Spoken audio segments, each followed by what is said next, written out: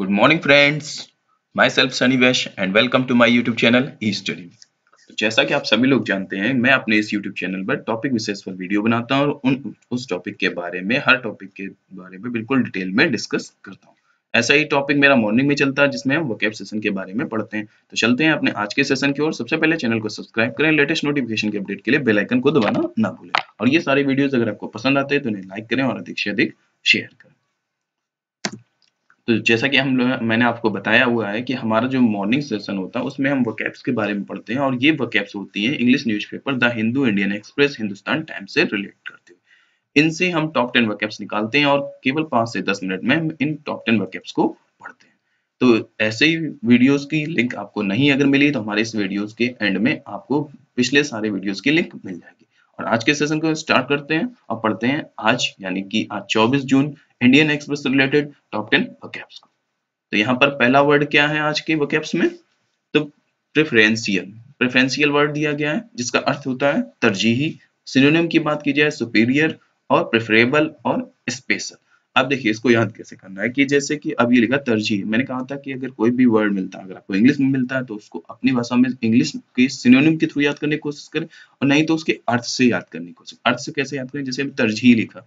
तो ये शुद्ध हिंदी टाइप से लिखा तो ये समझ में नहीं आता। अब जैसे इसको अपनी भाषा में समझने को तो तरजीह को पहले ब्रेक करें। तरजीह मतलब किसी को तरजीह देना, यानी तरजीह देना कब करते हैं? यानी कि किसी को प्रिफर करना। प्रिफर करना यानी कि उसको मेन बनाना। मेन मतलब मुख्य बनाना। तो अपनी हिंदी भाषा में देखो इंग्लिश भी निकल रही है इससे, हिंदी भी निकल रही जब हम इसके हिंदी अर्थ को अपनी भाषा में चेंज करने की कोशिश करते हैं तो हमें उसके कई अर्थ मिलते हैं, जिसके थ्रू हम इंग्लिश और हिंदी दोनों समझ पाते हैं। जैसे हमने तरजीह को समझा तो हमने कहा कि यानी तरजीह किसी को दी जाती है, यानी क्या कहते हैं, किसी को प्रमुखता दी जाती है। प्रमुखता को और चेंज किया तो मुख्यता दी जाती है, यानी प्रधानता दी जाती है। तो कई सारे अर्थ समझ में आते हैं, जिनके थ्रू हम अपनी भाषा में उसको समझ सकते हैं। अब प्रमुखता मतलब मुख्यता मुख्यता चीफ मतलब चीफ पर मतलब एक तरीके से मुख्य बना दिया उसको। तो अब यानी कि, अब वहाँ से समझते हैं, प्रमुखता मतलब प्रेफर करते हैं उसको।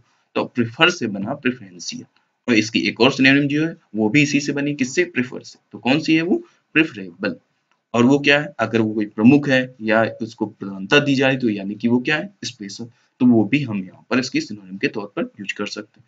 सुपीरियर सुपीरियर क्या होता है? जैसे हाई कोर्ट होता है, वो निचले स्तर का हो जाता है। सुप्रीम कोर्ट उससे ऊपर जाता है। सुप्रीम मतलब हाई पावर हाई कोर्ट से भी और हाई ठीक? तो उस, उससे यानी कि हाई से हाई मतलब सुपीरियर ठीक है? तो वहाँ से इसको याद कर सकते हो। इस तरीके से अपनी भाषा में ब्रेक करके अगर हम याद करने की कोशिश करते हैं तो हम अच्छे से याद कर पाते चलिए, दूसरी देखते हैं। दूसरा वर्ड यहाँ पे क्या है? इल्यूडेड इल्यूडेड मीन्स क्या था टलना। ठीक है सिनोनियम क्या होती है इसकी? इवेड और क्या है? फ्ली स्लिप अवे फ्रॉम ठीक है, अब देखिए जैसे टलना मतलब क्या होता है? हाथ से निकल जाना या वहाँ से निकल जाना।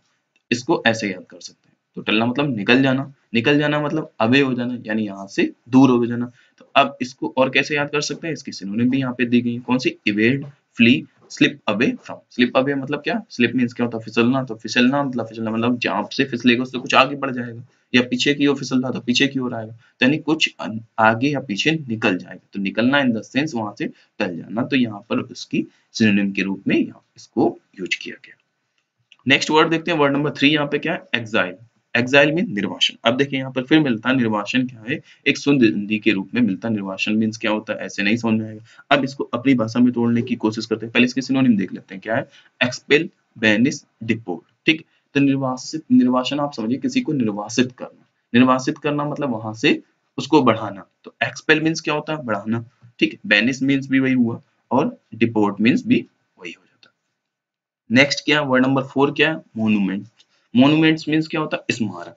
अब स्मारक ना समझ में आए तो इस, इसको याद करें किससे? स्मारक को स्मरण से। स्मरण मीन्स क्या होता? है याद करना। याद करना और स्मारक मीन्स यादगार मतलब या, यादगार एक तरीके से। तो उस वो कैसे हो गया? अब यादगार मतलब याद याद कैसे होता? मेमोरी मेमोरी मीन्स क्या होता? है याद। तो मेमोरी से क्या बनेगा? मेमो, मेमोरियल या मेमेंटो और इसको याद करने की और क्या मीनिंग होती? है रिमेम्बर तो रिमेम्बर से क्या बनेगा? रिमेम्बरेंस जो कि क्या है, स्मारक का सिनोनिम है। तो यहाँ से इस तरीके से देखिए हमें, मुझे लगता है कि आप अच्छे से, आसानी से याद कर पाए। तो मोन्यूमेंट्स में स्मारक हुआ, उसके सिनोनिम्स जो कि मैंने बता दिए हैं मेमोरियल मेमोरियल रिमेम्बरेंस और मेमेंटो ठीक है?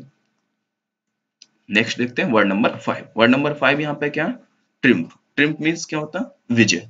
अब ये तो कोई टफ वर्ड है नहीं तो उसको ब्रेक करने विजय से ही समझ विजय मीन जीतना, और अगर तोड़ना चाहे तो अपनी भाषा में समझना चाहे तो विजय मीन जीतना। जीतना मतलब अब अगर उसकी इंग्लिश एक छोटी सी इंग्लिश हम लोग जो पता होती है मोस्टली वो क्या? विन और क्या होता है, जब हम सफल हो जाते हैं तो क्या होता है, एक तरीके से हम उस चीज़ को जीत चुके होते हैं, यानी कि अगर हम अपने कैरियर में सफल होते हैं तो यानी हम अपने कैरियर में जो चीज़ अचीव करना चाहते हैं, उसमें हम जीत गए होते हैं। तो उसके रूप में जीतना मतलब सफल होने मतलब सक्सेस सक्सेस से बना सक्सीड तो विन सक्सीड गेन मीन्स क्या होता? है प्राप्त करना।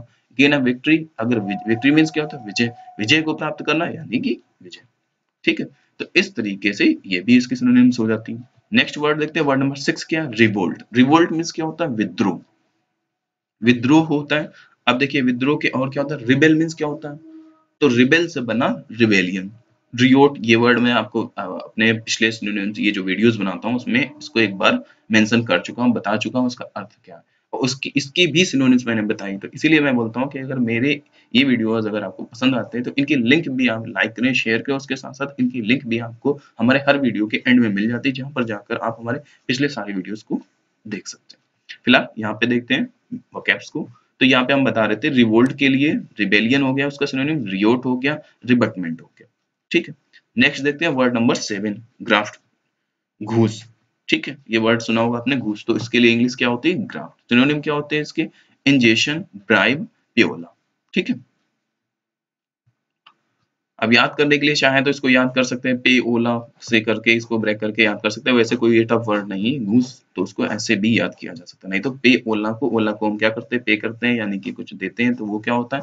कुछ दे, कुछ देना मतलब क्या है? वही घूस एक तरीके से यहाँ पे समझ सकते हैं। और नहीं तो आप अपने हिसाब से इसको सिंपल वर्ड है, आसानी से याद भी कर सकते हैं, ऐसे भी। नेक्स्ट वर्ड देखते हैं वर्ड नंबर एट क्या है? टॉर्चर टॉर्चर वर्ड बहुत यूज़ करते हैं, बताने की ज़रूरत नहीं है। अगर इसकी हिंदी केवल बताना ज़रूरी होती है तो टॉर्चर मीन्स क्या होता है? कष्ट पहुंचाना या किसी को पीड़ा देना या दुख पहुंचाना किसी को। ठीक है? तो उसके लिए सिनोनिम क्या यूज़ करेंगे? विक्टिमाइज एक्सक्रूसिएट और पनिश पनिश मीन्स क्या होता है? दंड देना। दंड क्या देंगे? दंड जब देंगे तो उसे कष्ट ही पहुंचेगा। तो उससे ये सारी सिनोनिम्स इसकी हो जाती है, किसकी? टॉर्चर की। नेक्स्ट देखते हैं word number nine barrage barrage means आड़. अब देखिए, फिर भी ये वर्ड आया कि आड़. आड़ वर्ड नहीं समझ में आ रहा है, इसको अपनी भाषा में थोड़े और कैसे तोड़ेंगे आड़ मतलब रुकावट. यानी किसी, कोई चीज़ आ रही है तो उसके लिए हम आगे कुछ लगा देते हैं तो क्या हो जाता है, उस जैसे हमारी लाइट आ रही है तो हम क्या कर दें उसके आगे दरवाज़ा बंद कर दें तो वहाँ पे लाइट नहीं पहुंचेगी. या आवाज़ आ रही है तो दरवाज़ा बंद कर देते कुछ कम आवाज़ है. तो ये सब क्या हो जाता है, एक आड़, एक तरीके से बोले कि आड़ कर लिया.